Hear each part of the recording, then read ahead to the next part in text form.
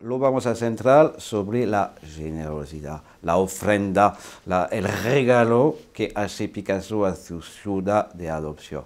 Cuando regaló, y ya lo había previsto a partir de la muerte de su hermana Lola en 59, pidiendo que se fotografía todas las obras que se quedó en la familia en Pases de Gracia, eso en mes de mayo de, hace 50 años se filmó con el notario Norega eh, esta donación que se abrió al público con la reforma de un nuevo palacio de toda esta donación tan generosa de más de 350 cuadros, más de 1500 dibujos, etcétera, etcétera.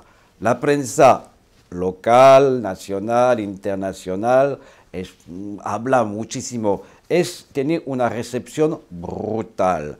Periódicos mm, alemanes, americanos, ingleses, de Francia, Paris Match, y aquí se dice Barcelona, ciudad picasiana, Barcelona primera en el afecto de Picasso, ha donado 90 obras, etc.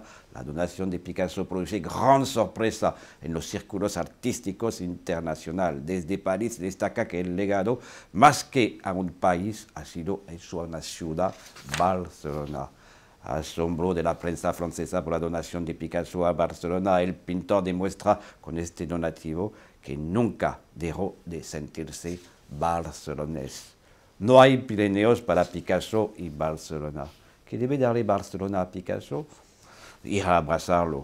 dar el nombre de la calle Moncada, calle Picasso, un gran museo, ya lo tenemos. Eh, convertir Barcelona en primer centro picassiano, es un gran centro picassiano, por supuesto, junto con Nueva York, con París, con los museos de Málaga. Al mismo tiempo, se puede artículos de Joan Brossa, por ejemplo, que dice, eh, con una metáfora futbolística, Barcelona 1, Madrid 0.